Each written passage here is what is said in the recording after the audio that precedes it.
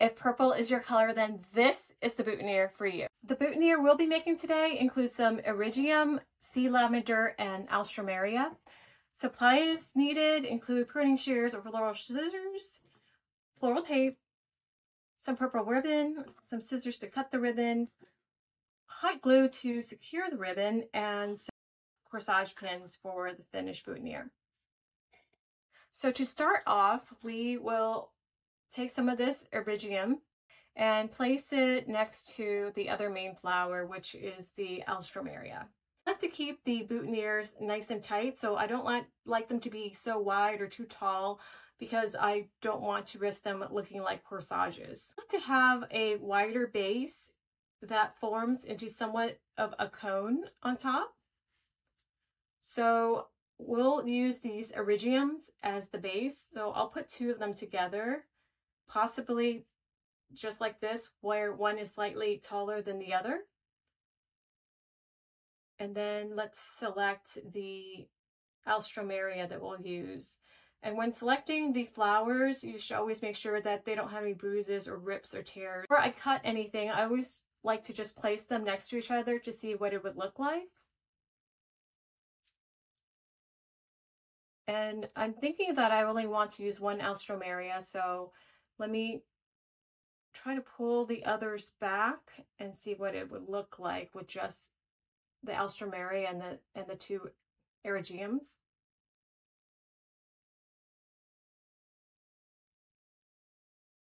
And I like that look, so that's what I'm going to go with. But maybe I will select an alstroemeria that's a little bit bigger such as this one on this side. So I'll go ahead and snip away the other alstroemeria that we will not be using. And I'll try to keep this leaf for now. Uh, well, it's a little bit yellow on top, so I don't like to use any leaves that are dried out. So I will clip that one as well, or pull it off. You'll notice that we cut off a lot of stems, flower stems here, and I don't want it to be so thick here, so I'm going to work on it in trying to cut it a little bit tighter. So that's what it looks like after I clean it up. Now back to the Eryngiums. And these two naturally line up how I would like them to line up, so that's great. And then you want to inspect the blooms themselves to make sure everything looks okay. And I'm seeing that this one has a little bit of a dried part to the leaf, so I will just select this one instead to use. And I will cut them apart anyway, so it doesn't matter that the where the heights are in relation to each other. So now I have three separate stems. And I will just place them next to each other and see how I like it. As you place the stems together, keep in mind the length of the design itself. So as you can see, if I left it like this, it's a fairly long design already. So I wouldn't want to go much higher here. So this would be the top of the boutonniere, and then this would be the bottom, unless I just go ahead and clip off these leaves, and that will give me an extra centimeter where the arrangement or the flower portion is shorter and I think I do want to do that so I will go ahead and pull these leaves off just so I can keep the top portion a little bit shorter. That's how I would like it so I will go ahead and tape it together and I'll just do two at a time just because it's a little bit difficult to manage three. I just wrapped enough tape to keep these stems where I would like them. I'm not going to wrap all the way down to the bottom just yet. Okay, and now let's put on the next Eryngium stem. Eryngium does have a forward-facing side. See how when you look at from the side view, it's you're only seeing from the side. So the front is here, and you want the front to be the facing outward when the boutonniere is on the lapel. So just pay attention to that while you tape it all together. Just did one round And now this is the perfect time to adjust it while the tape isn't too tight. So I just gently twist on the stem to turn the uh, Eryngium forward. And I can do the same with the first stem, hopefully, because I had not put that much tape on it. And so now I would like to add some of the sea lavender. And the sea lavender, just like any other or most other flowers, will also have a different shape to them. See how this one is a smaller bunch and this one forms a little bit of a upside down triangle. And of course we have other options, but let's just go ahead and, and use these and see what it looks like. See, I'm not really liking that look because it looks too top heavy now. So I probably do want to use a smaller stem just like this one. And that actually looks good. I would just add another, maybe a smaller bunch up here. So I will go ahead and snip this one off.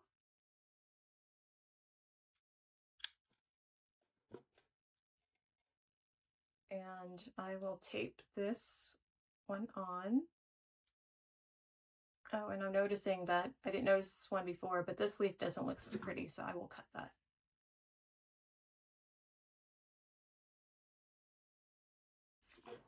See, I pulled it down so that the purple portions would show and not just the leafy, branchy green part of it because I do want it to look fuller in that space. And now I'll just layer on some more of the sea lavender behind to fill it in.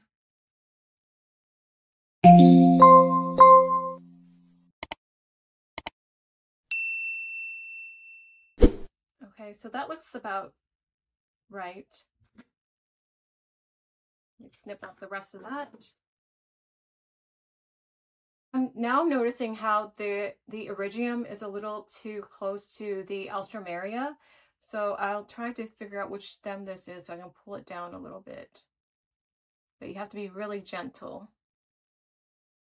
And I'm taking a look at it and I do want it to have some more of a, a conical shape at the top. So let's look for a really thin piece up there.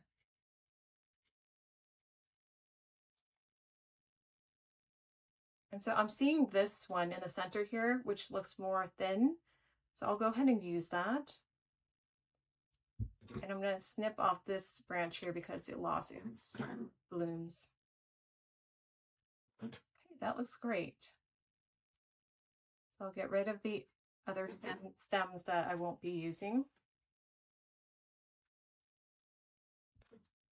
And when you're cutting the stems off of the main stem, try to make it nice and clean cut and not have a little stub out like that because it will show up underneath the tape and you will want to wrap ribbon around it. So having it as smooth as possible is a great idea. And as I'm wrapping, I'm seeing this little nub here. So I'm going to try to smooth it out a little bit by just snipping off that little point that's sticking out. All right, so as far as how much stem to leave down here, I usually do about an inch and a half to two inches. So let me go ahead and cut that off and then wrap all the way to the bottom. And with this floral tape, you'll notice that as I was wrapping, I actually pulled on it to stretch it out because there is adhesive within the tape itself. So when you pull on it, it releases that adhesive. Okay, so when I get towards the bottom, I will go past the bottom part.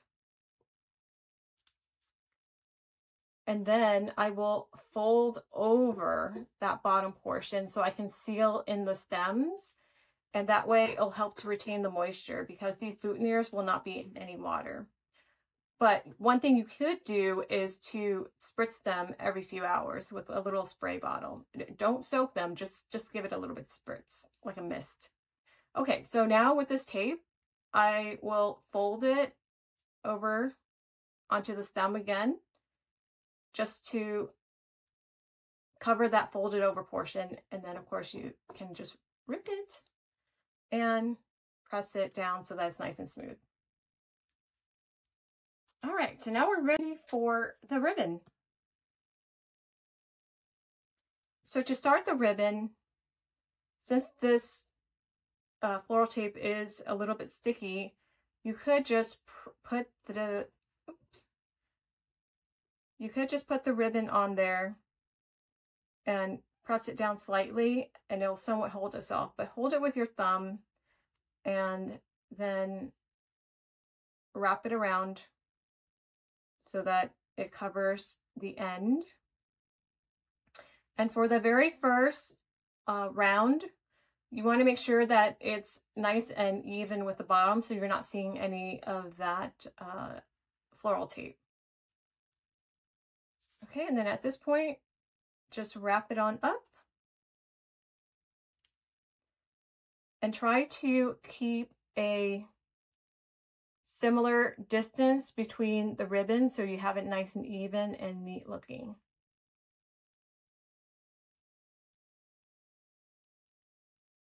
And do wrap it nice and tight. Okay, so after you've gone over the front side and covered up all the tape, you want to end the ribbon on the back side of the boutonniere. And that is where you would put a little bit of hot glue to secure the ribbon in place.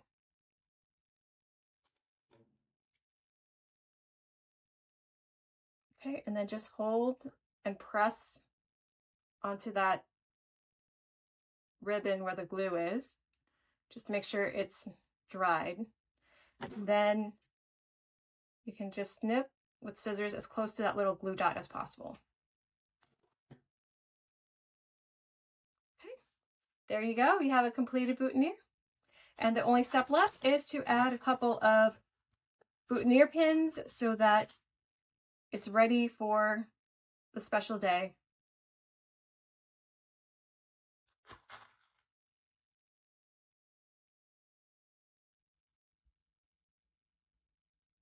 Hope you enjoyed this lesson.